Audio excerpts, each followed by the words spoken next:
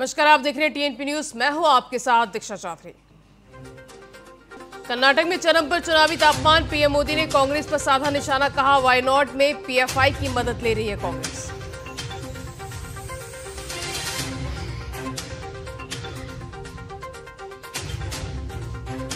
कर्नाटक के बेललावी में कांग्रेस पर बरसे पीएम मोदी, कहा, शहजादे को मुगलों के अत्याचार ज्ञात नहीं आते।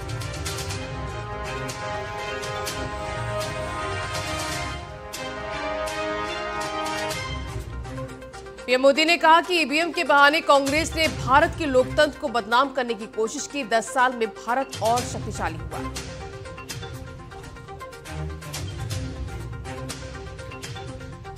पीएम ने कहा 25 करोड़ लोग गरीबी से बाहर निकले। भारत जब आगे बढ़ता है, हर भारतवासी को होता है गर्व।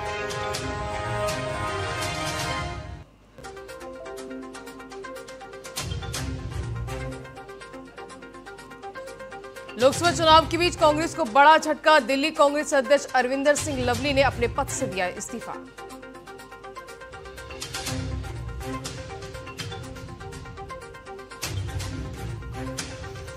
अरविंदर सिंह लवली ने दीपक बवारिया के साथ, अनवन के चलते छोड़ा पद, दिल्ली कांग्रेस अध्यक्ष ने दिया इस्तीफा।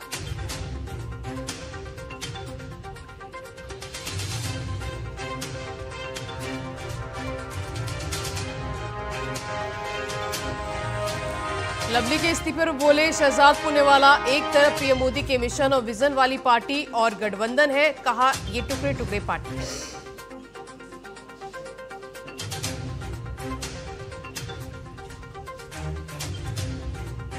दिल्ली कांग्रेस अध्यक्ष अरविंदर सिंह लवली का इस्तीफा, कांग्रेस नेता संदीप दीक्षित ने दी प्रतिक्रिया, कहा, अपनी पुरानी साख को लाने के लिए कर रहे हैं संघर्ष।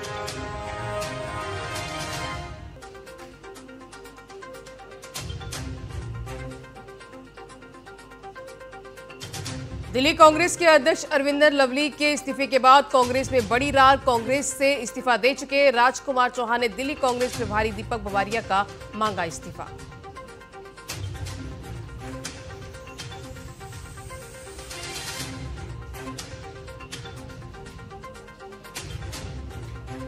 ईडी ने आम आदमी पार्टी विधायक अमानतुल्ला खान को फिर भेजा समान। 29 अप्रैल को पेश होने का दिया आदेश।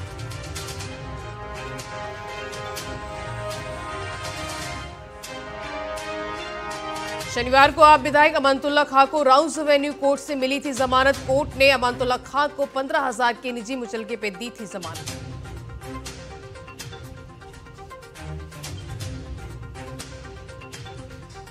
महादेव बैटिंग ऐप मामले में गिरफ़्तार हुए एक्टर साहिल खान। कोर्ट में आज ही होगी पेशी।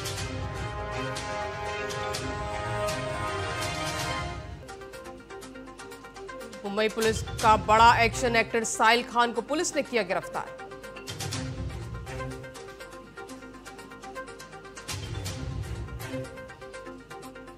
दिल्ली सरकार में आप नेता Atishi walk on, walk for Kejriwal कार्यक्रम में हुई शामिल। सौरभ भारद्वाज ने जेल का जवाब वोट से शुरू किया अभियान।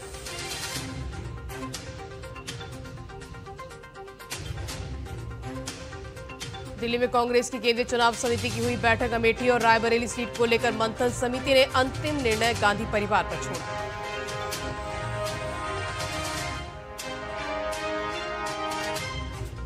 नामांकन से पहले अयोध्या में रामलला के दर पर पहुँची केंद्रीय मंत्री स्मृति ईरानी, रामलला का दर्शन कर की पूजा अर्चना।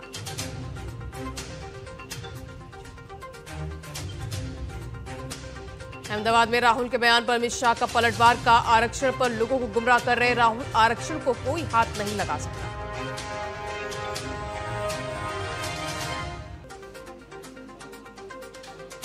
सपा के गढ़ में आज गर्जेंगे अमित शाह, मैनपुर में अमित शाह की चुनावी रैली, नुमाइश पंडाल पर जनसभा को करेंगे संबोधित।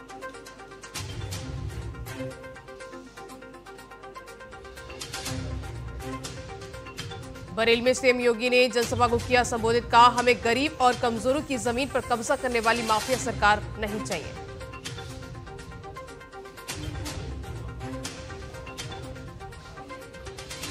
बीजेपी प्रत्याशियों की पंद्रहवीं लिस्ट जारी। प्रमोद महाजन की बेटी, पूनम महाजन का कटा टिकट, वकील उज्जवल निकम को बीजेपी ने दिया टिकट।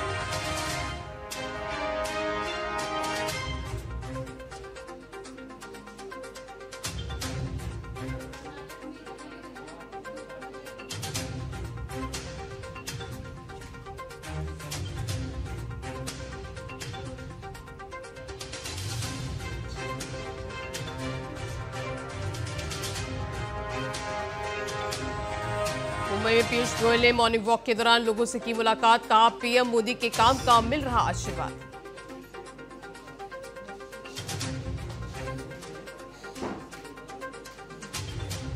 बलरामपुर में सीएम विष्णुदेव साय ने कांग्रेस पर जमकर बोला हमला, कहा कांग्रेस के पास कोई मुद्दा नहीं है।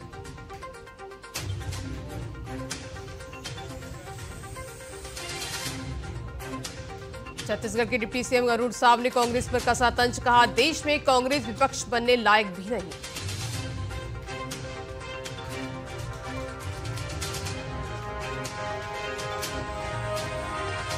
कन्नौज दौर में पहुँचे सपा प्रत्याशी अखिलेश यादव, अवंती बाई लोधी की प्रतिमा पर किया माल्यार्पण, अखिलेश यादव ने किया रोड शो।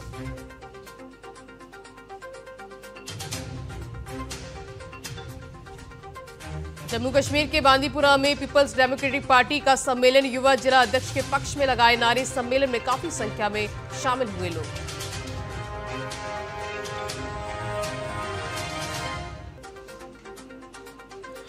मध्य प्रदेश के बैतूल में रामू टेकम के पक्ष में इंडिया गठबंधन की आयोजित की गई आम सभा। पूर्व मंत्री और पूर्व विधायक समेत आपके नेता हुए शामिल।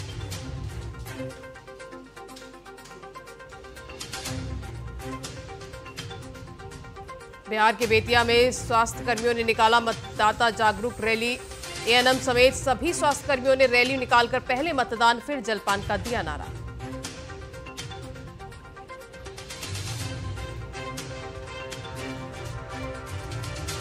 छतरपुर में फिर विवादों में धीरेन्द्र कृष्ण शास्त्री का भाई शालिग्राम गर्ग पर मारपीट का लगा आरोप। शालीगरम गर्ग पर पुलिस ने की एफआईआर।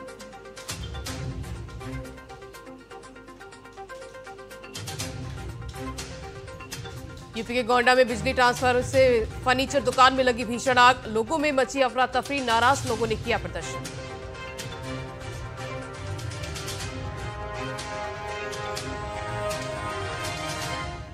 नैनीताल के जंगलों में लगी भीषण आग। आग बुझाने के लिए लगे सेना के हेलीकॉप्टर। सेना ने संभाला मोर्चा।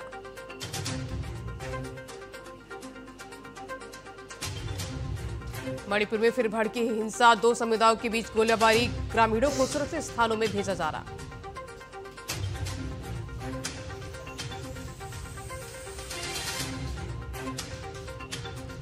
छत्तीसगढ़ के रायपुर में लोकसभा चुनाव को लेकर प्रशासन सख्त। कई जगह पर पुलिस ने चलाया चेकिंग अभियान।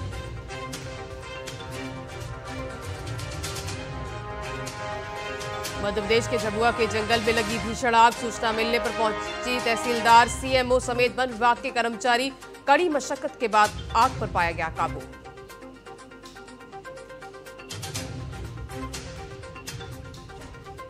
यूपी, गाजियाबाद में गोदाम में लगी भीषण आग, लोगों में मची अफरा तफरी कड़ी मशक्कत के बाद आग पर पाया गया काबू।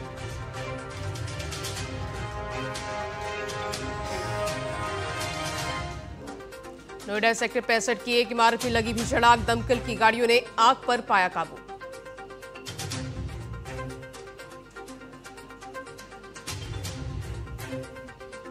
जम्मू कश्मीर के पहाड़ी इलाकों में ताज़ा बर्फबारी, पुंछ और रजौरी से जोड़ने वाले मार्ग में हिमपात।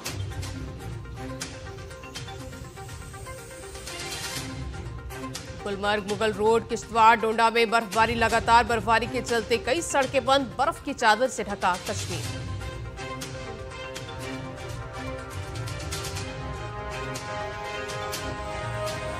गुजरात टाइटंस और रॉयल चैलेंज बेंगलुरु के बीच होगा मुकाबला। नरेंद्र मोदी स्टेडियम में होगा मुकाबला। जीत की लय को बरकरार रख पाएगी आरसीबी।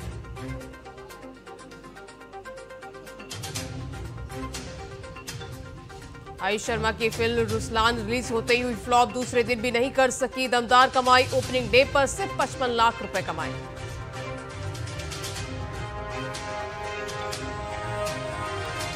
सोनू सूद का व्हाट्सएप अकाउंट पिछले 36 घंटों से एक्टिव नहीं, इस परेशानी पर नाराज़गी ज़ाहिर करते हुए एक्टर ने सोशल मीडिया पर पोस्ट पर कंपनी से इसे ठीक करने की अपील की। कृष्णा मुखर्जी ने शुभ शगुन के मेकर्स पर लगाया हैरस करने का आरोप। मेकर्स ने उन आरोपों को बताया फर्जी।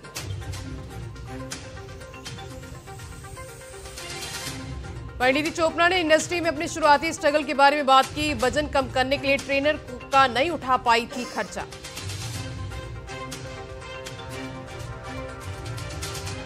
फ़िल्म रामायण किट सेट से रणवीर कपूर और साई पल्लवी की तस्वीरें आई सामने, राम सीता के अवतार में आए नज़र।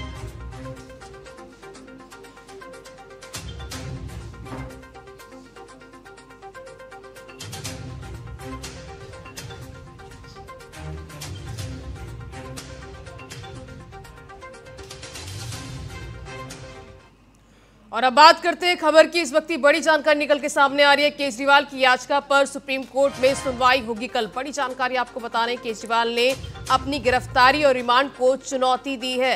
सीएम केजरीवाल ने ईडी की गिरफ्तारी को अवैध बताया है। बड़ी जानकारी आपको बता दें, टीएनपी न्यूज़ पर पिछली सुनवाई में सुप्रीम कोर्ट ने ईडी से जवाब मांगा था। सुप्रीम कोर्ट के आदेश पर ईडी ने दाखिल कर दिया है जवाब।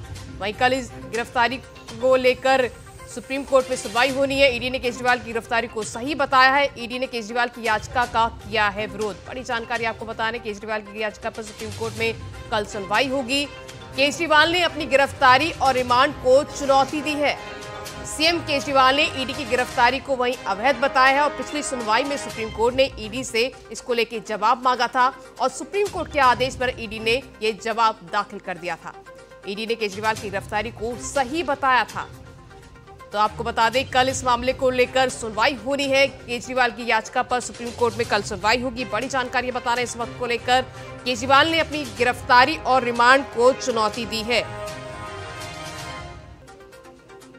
तो बड़ी जानकारी आपको बता दें इस वक्त की, कल इस मामले को सुन, मामले में सुनवाई होगी। सुप्रीम कोर्ट के आदेश को लेकर आपको बता दें, ईडी ने केजरीवाल की गिरफ्तारी को सही बताया था और ईडी ने केजरीवाल की याचिका का विरोध किया है।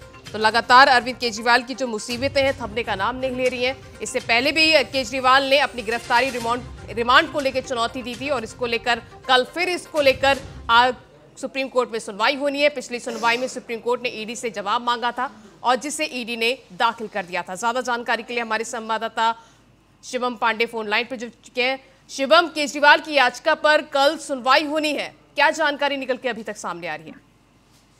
बिल्कुल दीक्षा जी, आपको बताना चाहूँगा कि साफ़ तौर से देखा जाए कि सुप्रीम कोर्ट ने जब अरविंद केजरीवाल के वकील की तरफ़ से याचिका दायर की गई थी तो सुप्रीम कोर्ट ने ईडी से जवाब मांगा था। तो ईडी ने कई पेजों में सबूत के आधार पर सुप्रीम कोर्ट में जवाब दाखिल किया था। अब लेकिन कहीं ना कहीं ये देखना होगा कि कल फिर एक बार उसी अरविंद केजरीवाल के मुद्दे पर सुप्रीम कोर्ट में सुनवाई की जाएगी, क्योंकि साफ़ तौर से देखा जाए तो संजीव, जो जस्टिस है, संजीव खन्ना और जस्टिस दीपांकर दत्ता के बेंच में ये सुनवाई की जाएगी। क्योंकि साफ़ तौर से देखा जाए तो आखिर अब क्या होगा, क्योंकि सुप्रीम कोर्ट का साफ़ तौर से कल निर्णय भी आएगा, लेकिन देखने वाली बात होगी कि आखिर क्या कल हो सकता है। जी। शिवम क्या जानकारी निकल के सामने आ रही है कि कल क्या केजरीवाल को थोड़ी राहत मिल सकती है नहीं? और दूसरा ये सवाल होता है कि केजरीवाल जेल में है और वहीं उनकी पत्नी सुनीता ने कल दिल्ली में पहला रोड शो किया। और इस दौरान वो जनता से उन्होंने भावुक अपील भी की है। तो एक तरफ़ यहाँ पर अरविंद केजरीवाल की पत्नी लगातार जनता के बीच जा रही हैं, रोड शो करती हुई नज़र आ रही हैं।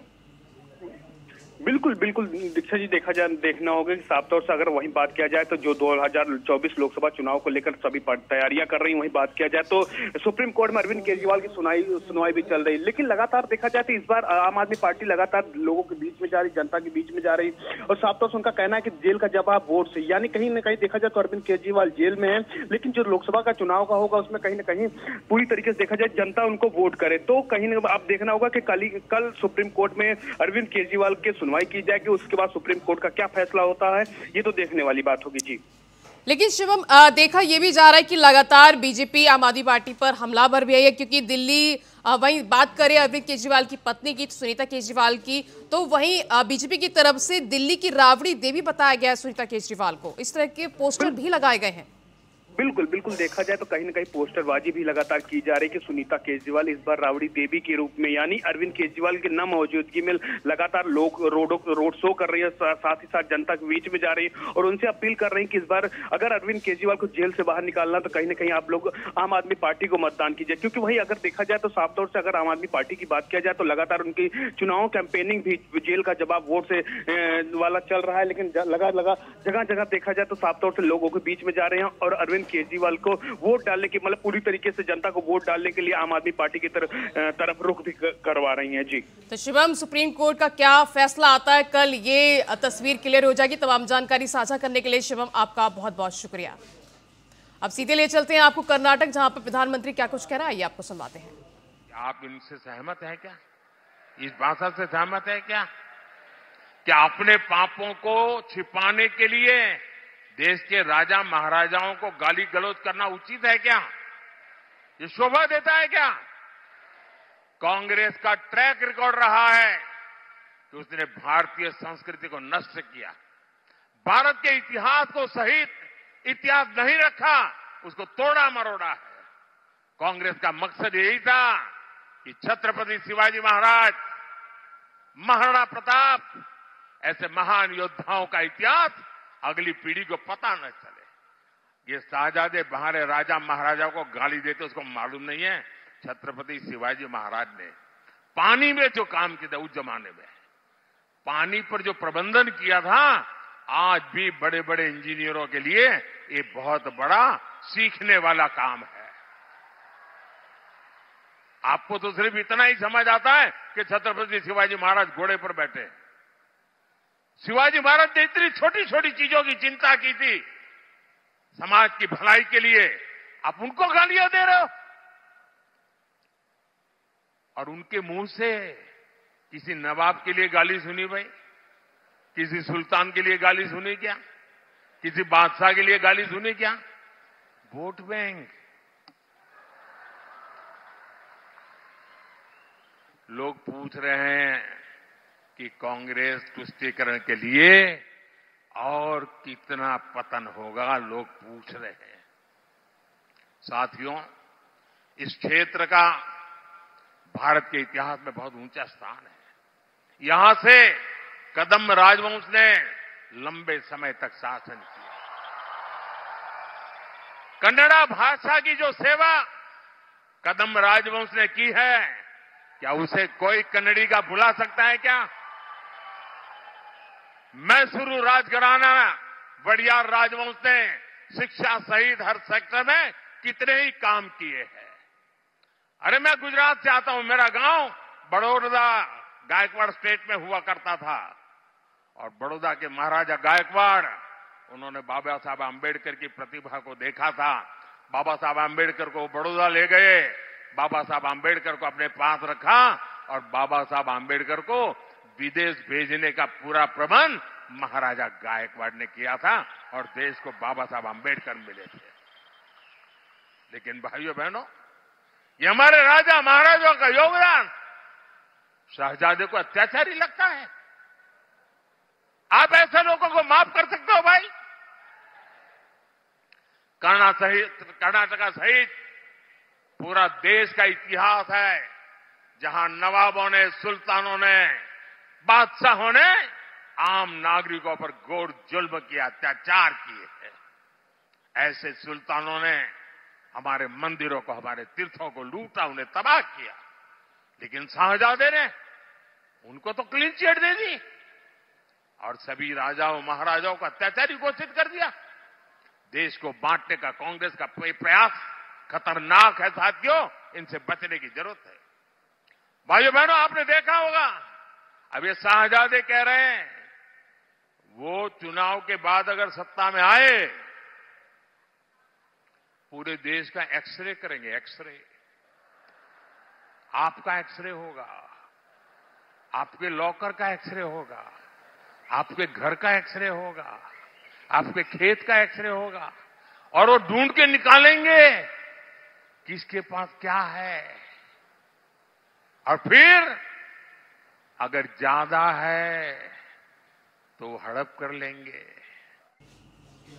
आपको बता दें, कर्नाटक में तीसरे चरण में चल, मतदान है इसी के चलते। प्रधानमंत्री मोदी वहाँ पर पहुँचे हुए थे और इस दौरान वो, उन्होंने जनता को संबोधित किया और लगातार कांग्रेस पर उन्होंने निशाना साधा है। फ़िलहाल इस बुलेटिन में बस इतना ही। देखते रहे टीएनपी न्यूज़ नमस्कार।